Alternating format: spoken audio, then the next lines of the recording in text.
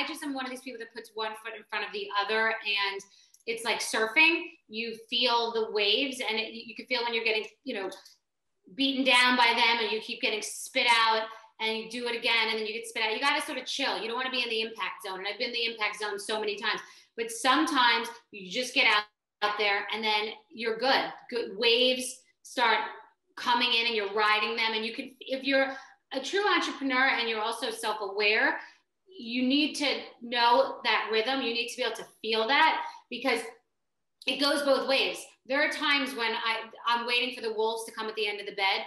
Things are too good, and I, I feel that the wolves are just sitting there because it's too good, and I, like, I want it to not be so good for a second because I'm getting too much attention. It seems too good, you know. So you just want to chill and be cool during those times because if you believe your own bullshit or drink your own Kool Aid, they really do come get you. By the same token, you could feel the rhythm of when things are starting to pick up. It's energetic almost. It's not even necessarily based in something tangible, but that's when you need to press your bets. The tables are getting hot. You've got to do that.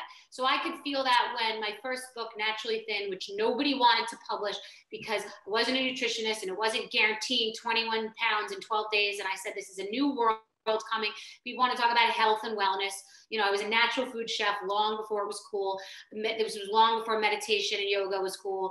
And it was like, no, people want to talk about the noise of the food and having a good relationship with food, not just 20 calories and this and counting and obsession. Diet is hell.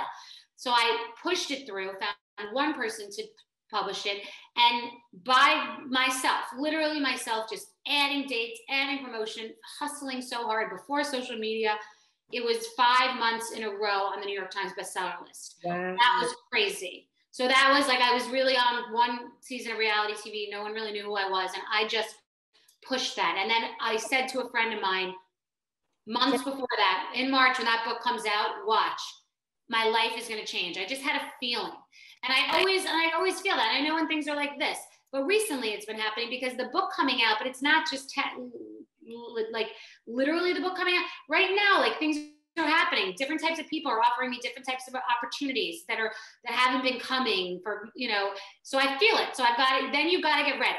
Now you've got you see the fish you got to get your boat together get your equipment together get organized get everyone around you together. You feel that the waves are coming so be prepared. That's what i feel